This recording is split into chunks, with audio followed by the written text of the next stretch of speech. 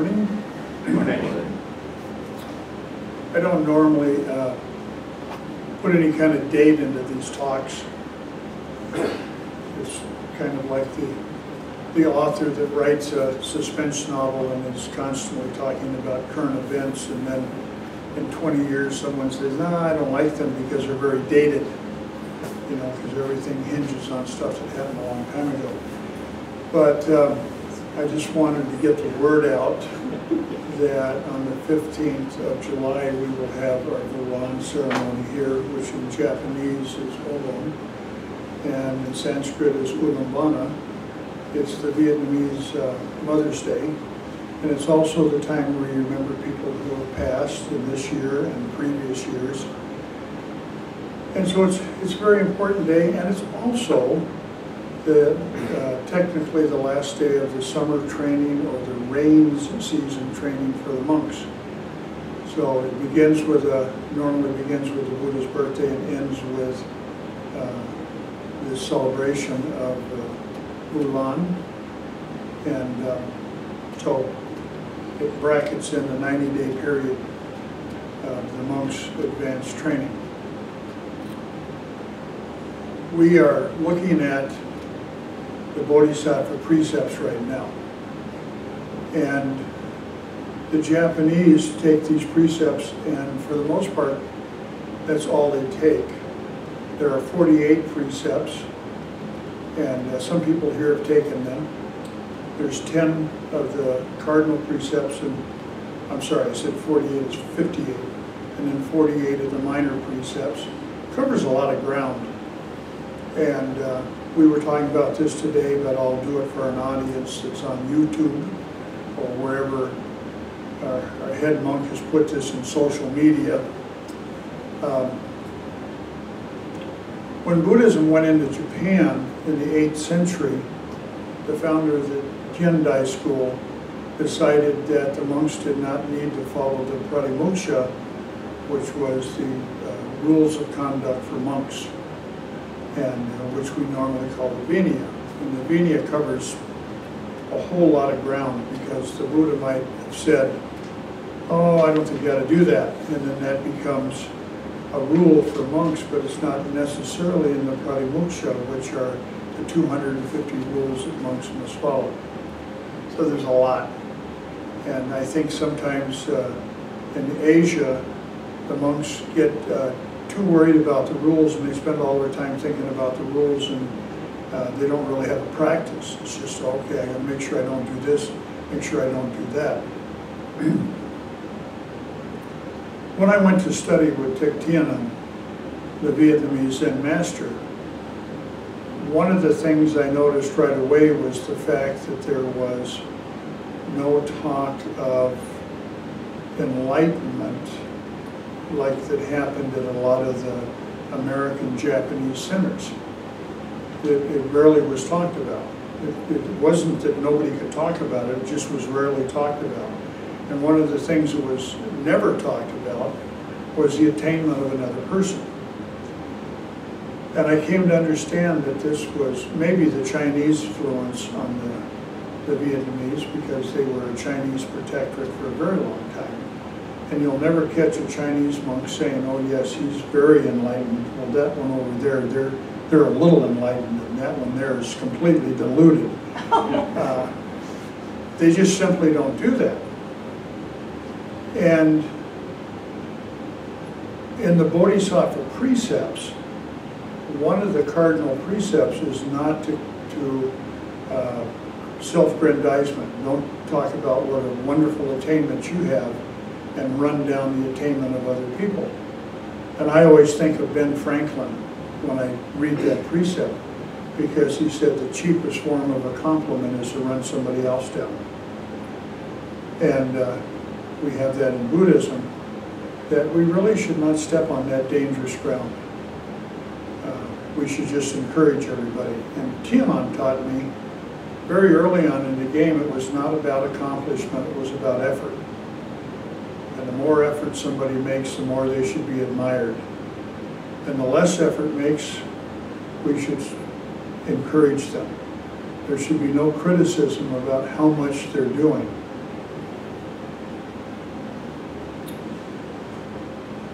I set the stage for what I'm going to say now. Uh, periodically, American monks get into trouble. Uh, just like periodically Catholic priests get into trouble. And sometimes it really colors the way everything's looked at. That, oh, well, maybe Buddhism isn't such a good path to follow because, look, they got into trouble. Mm, that's really not a very uh, smart way of looking at it. The proper way to look at it is, oh, well, they're human and they got into trouble. They didn't get into trouble because of Buddhism, really they got in trouble because their lack of understanding. Now, let's talk about enlightenment, because we never talk about enlightenment, okay? Enlightenment does not cure your bad habits. The Buddha did not have any bad habits because the Buddha wandered around in the forest and he was up in the Himalayas and in caves studying with teachers.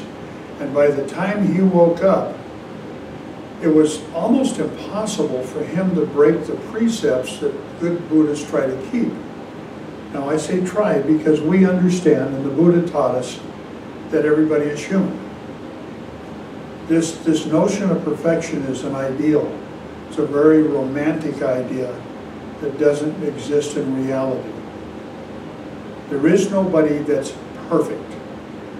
And I'll give you one just very simple example that there is nobody that's perfect. If there were people that were perfect, they couldn't sell deodorant, nobody would buy it. Right? Because wouldn't perfect be that you don't smell? And there wouldn't be any dentists because you do such a good job of brushing your teeth that you'd never, ever, ever, ever need to go to a dentist.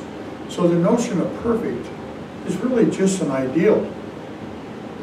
Rob, our master carpenter, will tell you that the ideal is to do the very best you can.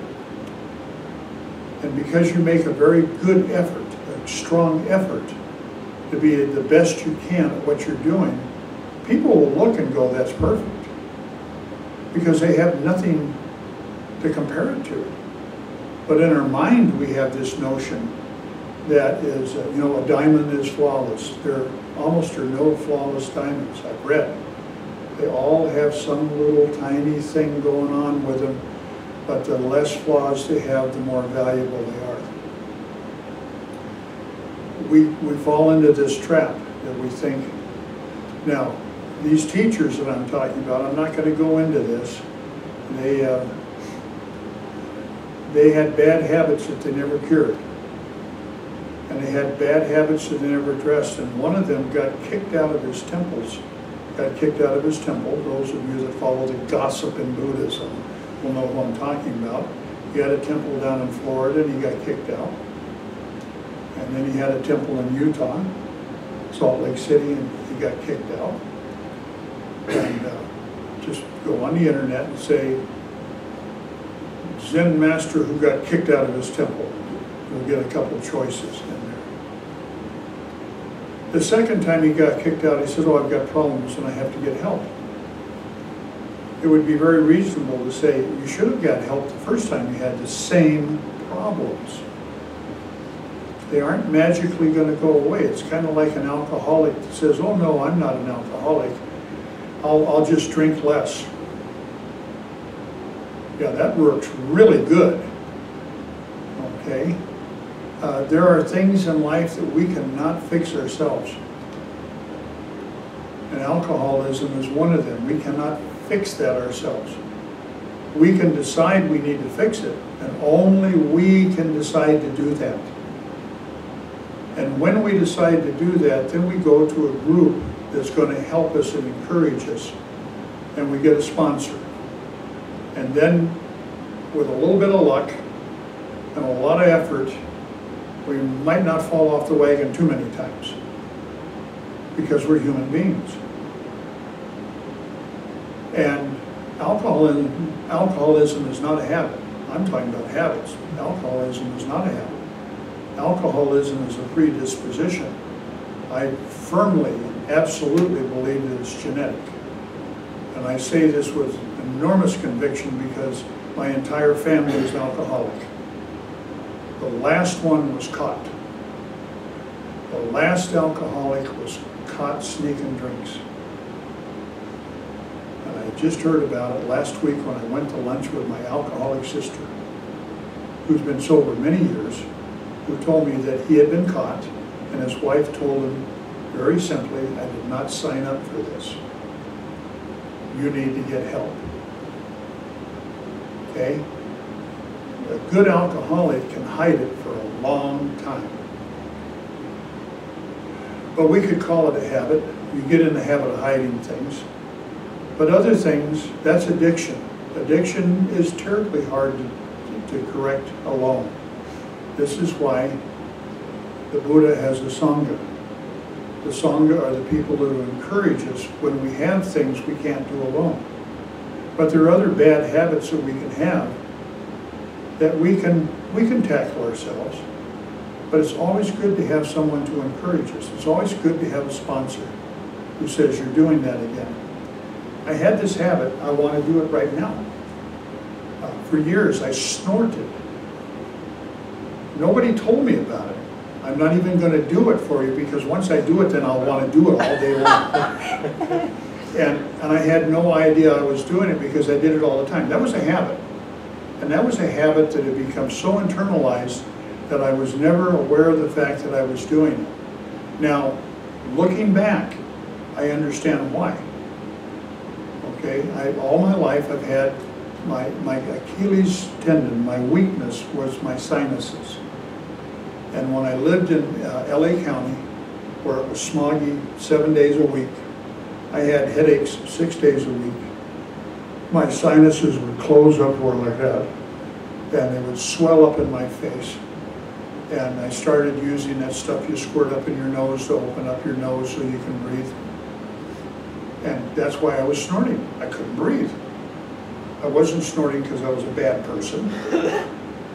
I was doing that because I but finally, kept, someone kept pointing it out to me, and I went, and I kept trying to control it, and I realized the problem was I couldn't breathe. The best day I ever had was the day we moved to the desert. And I got up here and I started working, and we'd been up here a couple of weeks, and I realized I could breathe. I, I didn't have headaches anymore, and I could breathe. And I'd already been told by a doctor that I was allergic to smoke. So I got in this bad habit. Probably what I should have done is gone back to the doctor and got some more of the medicine he gave me, which fixed the problem. But, you know, when you're a hardhead and you think you know better than other people, it takes a few decades for it to sink in that perhaps they know something that you don't know. We have the precepts. The precepts are very important. They're to help us have good habits. The first precept is always consider the most important precept. It's not to take life. Now, everybody in this room has taken a life. And everybody in this room will continue to take a life. If you get sick and you go to the doctor and you're maybe even ready to die and the doctor gives you an antibiotic, you're taking life. The Buddha taught his monks that when you drink water, you're you're taking lives because there's little little guys floating around in that water you can't see. So you're taking a life. Vegetarians, and you know vegetarians because some of you are, and you're much holier than everybody else. Every time you go out and you get some vegetables or you get some fruits, you're taking a life and there's no way to escape it. Anytime you take, eat an apple, you've taken a life because, I mean, my gosh, you know, the, the Republicans would just beat you to death over this because that's an abortion. You've aborted an apple tree. Think about it. I know it sounds silly, but you know, we cannot move through life without affecting other life. And anytime we eat a fruit and consume those seeds, now the birds are different. Figs love birds because figs have spread all over the world because of birds, because the birds eat them and they can't digest the seeds. And as they're flying along, ooh, we're spreading seeds, look at this. It's just, it's just like I have a crop duster. Here go the seeds for the figs. But if we interrupt this, the life cycle, this morning I went out and got, you have to look, Mary, in the kitchen. Did you see it? I planted a new kind of winter squash. I can't even remember what it is. Because I, I got it, because I like winter squash. It makes great soup. This thing is that big. And it's got to weigh 25 pounds. I could barely pick it up. Barely pick this thing up. I kept letting it grow because I thought, you know, usually the stem on a squash will kind of get a little, a little weak. It'll start to shrivel and you know it's time to harvest it. No, this had a stem the size of my wrist, you know, and it was laying there, and I thought, holy mackerel, how big could this possibly get? Look at it. You could feed 100 people off of this one squash. Okay? Anytime we go out and we, we consume fruit, or vegetables rather, that have seeds inside of them, any of the melons, there, we can see them. I love tomatoes. I've got a monk that is, I don't know what its problem is. We went to the garden shop. We bought four different tomatoes. He wanted tomatoes because he says the ones in the stores don't taste good and he grew up on a farm. So we planted four different types of tomatoes. And then when I wasn't looking, he went back and bought two more. He's afraid he's not going to have enough tomatoes to eat. Okay, Thursday night meditation, he comes in with a big bowl of tomatoes and says, here, have some tomatoes, they're really great. Okay, tomatoes full of seeds. We eat the seeds. They're never going to, those babies aren't going to grow. It's impossible for us to move through life without affecting other life. So we have to accept that. And sometimes I've heard people argue, they love, you know, everybody loves to argue and it's philosophical. Well, you know, why is why are human beings more important than cockroaches? We should hold cockroaches in the same self-esteem that we hold a human being. But yet the Buddha taught to take a human life, well, first of all, to take the life of a, an enlightened being is the worst thing you can do. Of course, the, the idea behind that is that enlightened being no longer can teach other people and help them along the way. To kill your parents is the next, either one of your parents, is the next worst thing you could possibly do. And then it just goes to human beings in general, to take the life of any human. This is why Buddhists traditionally are never in favor of capital punishment. I'm certainly not in favor of it. It doesn't work. And it's not punishment. You're not punishing someone when you end their life. It's over with. They're, they move on to another life. And from a practical standpoint, it costs like, I don't know, this monk could probably tell us, I've read it over and over again. It costs three or four times as much money to execute someone as it does to put them in a prison and keep them there for the rest of their life. And all we're doing is protecting society. This is my feeling. If you have someone that cannot live in society without killing people, then you need to isolate them so they don't hurt other people. They don't need to be punished. They're defective human beings. That's the way I, that's my personal opinion. I, I can't give you any scientific evidence because, you know, you can't necessarily go to court and, and claim insanity because you're defective. But I can't imagine how anybody can walk into, like this guy that walked into an office and, and shot five people and killed them and injured over 20 people. How could anybody think he's sane? Well, okay, I don't want him to get off of, I want him to be put away somewhere where he can't do that to anybody again. That's all. I don't even want him punished because it doesn't work. The Buddha said that 2,500 years ago. He said you can't change people by hating them.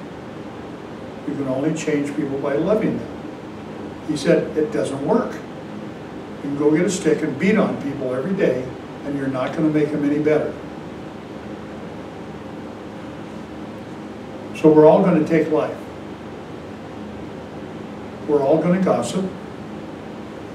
I just got done gossiping. I encourage you to go on the internet and look up this guy that thinks he's a real Zen master and just can't seem to control his urges. Okay? He never worked on his urges. I watched him on YouTube two days ago. I had a friend that hooked my TV up so it have YouTube on it. Incredible. I have avoided YouTube. Do you know that all, Mary, do you know that all 38 of uh, the rainbow shows that Pete Seeger did in the 50s is on YouTube? It is. It is. It's fabulous. 48 minutes long. He's got everybody in the world that was a singer back then of folk music. I've been watching those. Wow.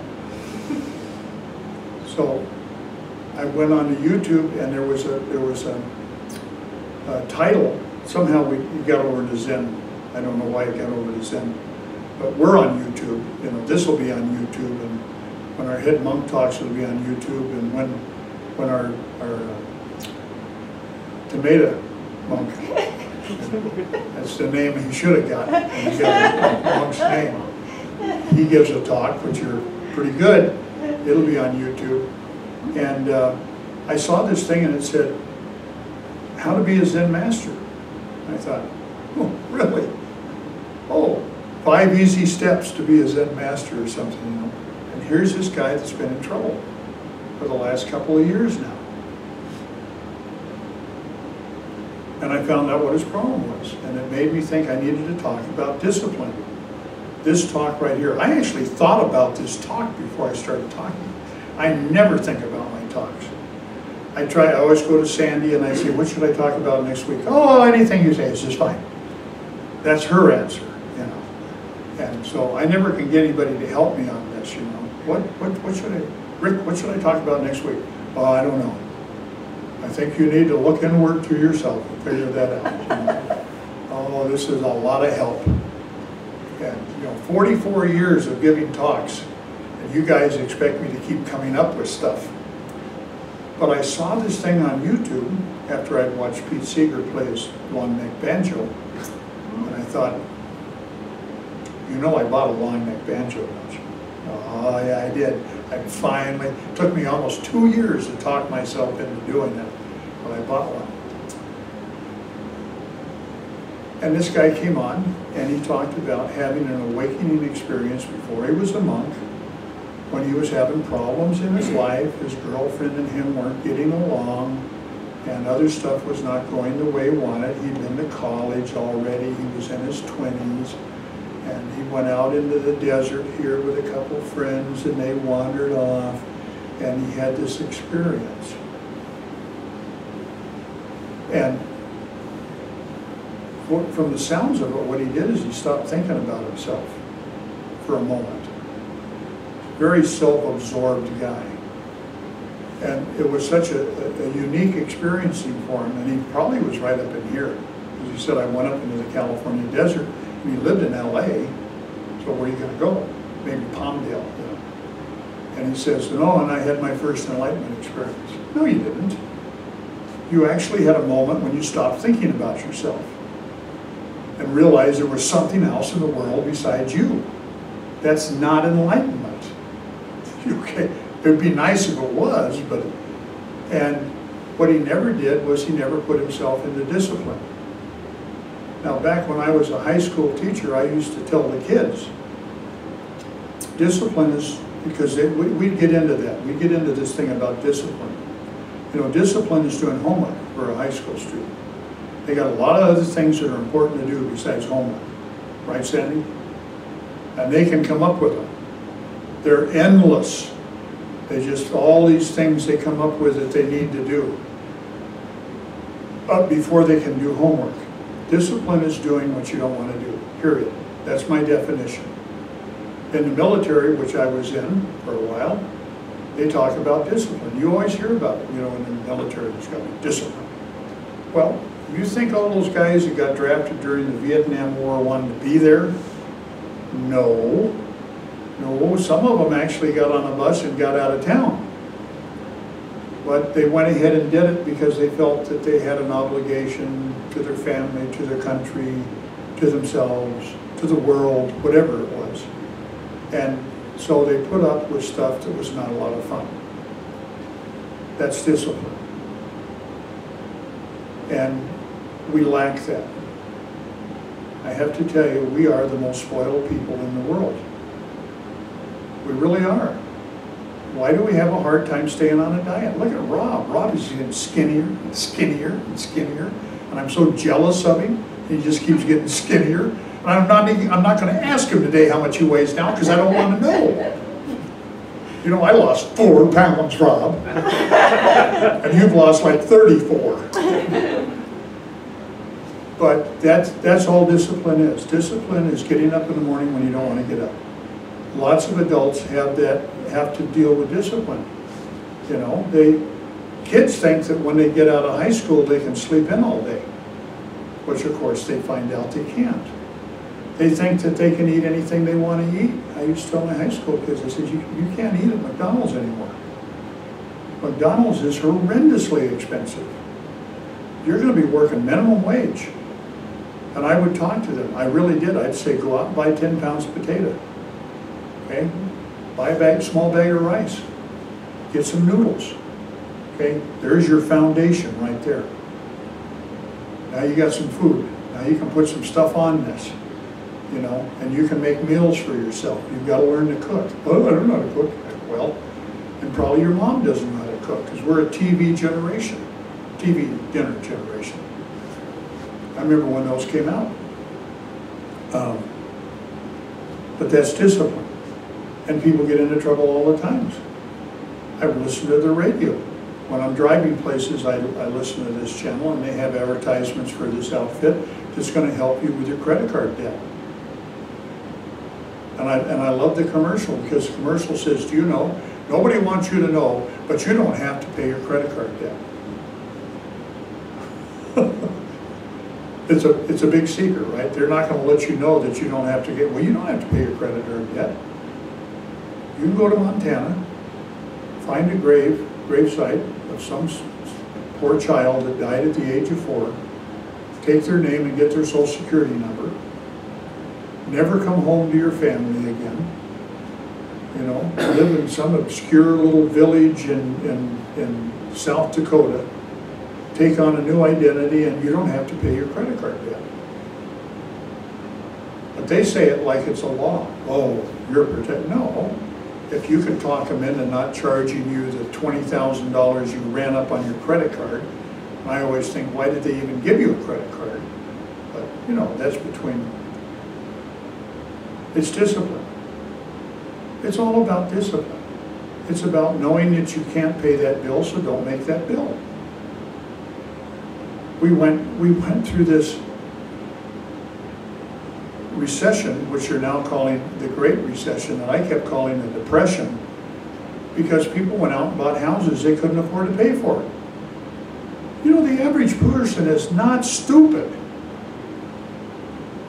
The average person can sit down with a pencil and a piece of paper and figure out, you know, I have I have this amount of money left over after I pay rent. Well, maybe I could, I could afford a mortgage payment that was my rent and this amount of money. But we went out there and we listened to other people, but it's still our fault. Some guy said, oh no, no problem.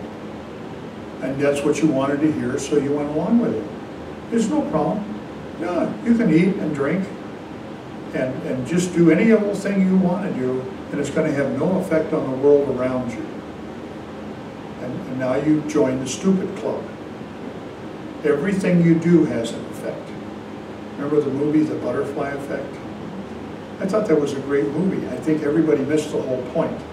They go, because, you know, science came along and said nothing happens in the universe. And, well, the truth is nothing happens in the universe that doesn't affect everything. It doesn't necessarily mean that a butterfly is going to cause a catastrophe. But everything affects everything else. If you're angry when you're driving down the road, you see the effects of your anger real quick. Okay? When you walk into a room of people who are happy and you're unhappy, if you would pay attention, your condition, even if it's a room full of people you don't know, affects those people. We went to an event yesterday for a friend of mine, his master died 10 years ago, he was a very important monk in Vietnam, had many, many disciples, abboted temples, ran organizations for all the right reasons. And we figured that there were at least 150 monks and nuns going on 200 there. It was the biggest group I'd ever seen. Just huge. And I went to I went uh, to a retreat the last couple of years where there were around 175 monks and nuns. I think there was maybe 200 there. It was just overwhelming. And there was one monk there they talked. And he looked like this.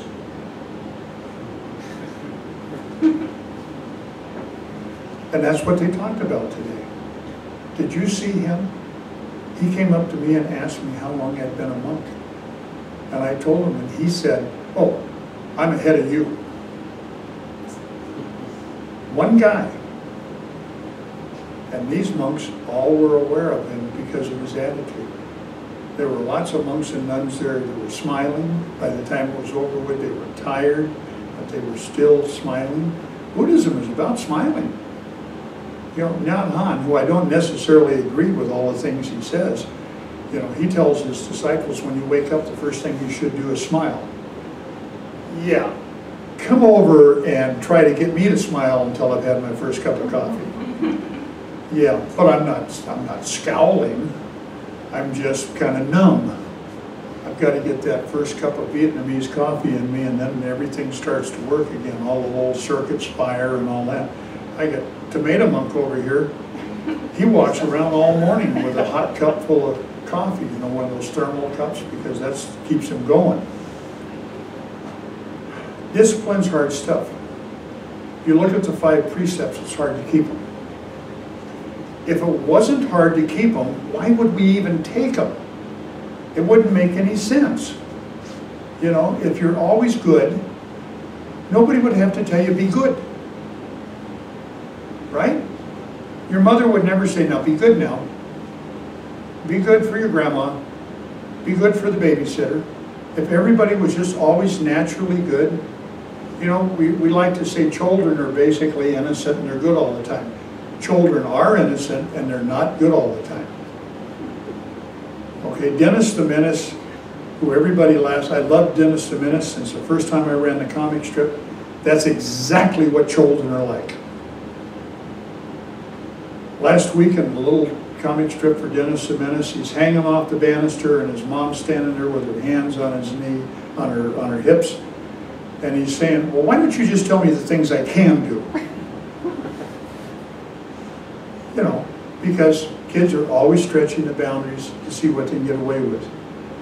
You know what? Adults are always stretching the boundaries to see what they can get away with. Years ago, I had a group of monks I was training who have all gone off and sowed seeds in the world. And I had to go, I just had to go, and there was no way, we had a retreat and I couldn't get out of it, I had to go into town for three, four hours. And I said to the head monk back then, I said, okay, just follow the schedule. I can't get out of this, I've got to go. Just follow the schedule. You know, the schedule was, okay, we have an hour and a half of meditation, and we take a break, and then we go do this and that. But I come back, they're all sitting around, they got a they got their knees crossed, they're sitting there, they got a cup of coffee, they got the box of cookies out. Okay, there was one Vietnamese lady there, and I, I missed her because I haven't seen her in so many years. Her name was Padma, which means lotus. And uh, she was a real, real interesting lady. Boy, she just get in and take charge.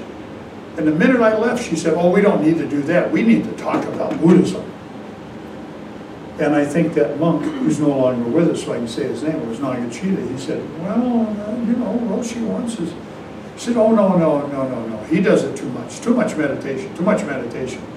We need to talk, we need to get, get a cup of coffee and talk about Buddhism. And I walk in, and there they are. I go, what are you guys doing? Oh, well, we were talking about this or that, whatever they were talking about. And I said, oh, oh okay, so you're, you're finished with your meditation and you decided, I think they were supposed to go out and kind of rake up around the place. You're done raking? Oh, no, we haven't got to that yet. I said, really? You've been talking for three hours? Well, yeah, it was important stuff. Know, we had important stuff to talk about. Just, just like a kid. And I made the axiom, and I keep threatening that I'm going to get a piece of wood and a chisel and I'm going to carve it in it. You know, while the master's away, the monks will play. And I've read accounts of masters, you know, a thousand years ago, the same issue. They would go away from the temples and the monks go, oh, we can get up whenever we want to. Yeah, we don't have to get up at three o'clock in the morning anymore. We'll just sleep in and, and then we'll see if there's anything in the kitchen to eat. I met this man two weeks ago. I had to present a paper that I was asked to write on, they're trying to establish a Buddhist college in Orange County that will be fully accredited. So if somebody gets a bachelor's degree, they can go off and get a master's degree somewhere else, that kind of stuff. It's a great idea. It's long overdue, considering, uh, you know, how many monks there are in Orange County and, of course, San Jose. And this monk got up, and at, fir at first I thought he was very young because I saw him at a distance, and it turned out he's probably close to my age. And he had spent time in Eiheiji, a number of years in Eiheiji, and he described it to the Vietnamese. And I thought it was great because he was talking about how they never got it, you know, we have our, this illusion about Zen practice in Japan. You never got enough to eat, you never got enough sleep, you, you know, you never got enough of this, you never got enough of that. And as he's talking, I'm going, huh. It was a little bit different description of this Japanese monastery that I had been told about. You're always a little hungry, you're always tired, you're always this, you're always that. And when he got done, he says, but there's a lesson there. And I knew exactly what the lesson was. I had my lesson in basic training. You never get enough to eat, you never get enough sleep. Got a former Marine here, you know. Once you go through that, he'll never tell you it's good. No, no, he'll never tell you that. But that's why it leaves the mark on you. You learn that you don't have to always eat until you're sleepy. That you don't always have to have eight hours of sleep. That you don't always have to be comfortable. That you can be really uncomfortable and still survive. And the Buddha said that. Okay? That was the whole thing. He says you don't have to go out in the forest and live like I live, but you don't have to overindulge. That's why we're going to take things in moderation. And when you see yourself overindulging, you need to pull back. Whatever it is you're overindulging is. Kids today are, are addicted to YouTube on their phone, walking down the street, running in the poles. I've seen two kids do it. I think everybody's now seen somebody on their phone walk into something. Okay? We need to put the phone away for a while and have phone time. My mother, who probably was a genius, had a very simple approach to raising children. Get out. We, yeah, we could come in for lunch and then get out and play. But I want, to, but I want to watch cartoons. No. She'd let us watch cartoons Saturday morning. And then we had to get out. Okay? Our kids are obese. Why? They need to get out. They need to climb trees and fall out of them and break their arms and, you know, do this and sprain their wrists and do all this kind of stuff. And that's called growing up. And it's also learning that they don't have to have everything they want the moment they want it.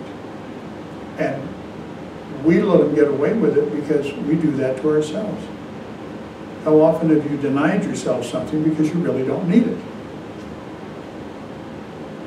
Not very often. Once you get out there and you're making a decent paycheck, you go, well, you know, I really want that. I think I'll win. You know, it was longer than two years that I thought about a long neck banjo. Okay, it was a long time, but then I had to talk myself into it for two years. You know, that I could leave it to Rob you know, because I know Rob loves banjo. Yeah, he's just got them all over your house. But it's about discipline. And following the path is about discipline. Precepts are discipline. Giving yourself a little meditation every day. You don't need a lot. You really don't. if you're doing it every day, 20 or 30 or 40 minutes is, is good. It gets you started to where you start paying attention to what you're doing. Paying attention you need a lot of. Okay, that's important. Anybody notice our new Buddha? What? What? We just got this Buddha that is huge and it's sitting over against the wall, waiting to be installed on an altar that's too high for it. But Paying attention, yeah, that's a daily thing. That's part of discipline. Not pulling back from the world when the world isn't what we want to see. You know, right now as a society, we're a mess. Everybody's calling everybody else names. Everybody is telling everybody else to go hurt somebody. It needs to be fixed. And if we back away from it and pretend it's not happening, nothing's going to get fixed.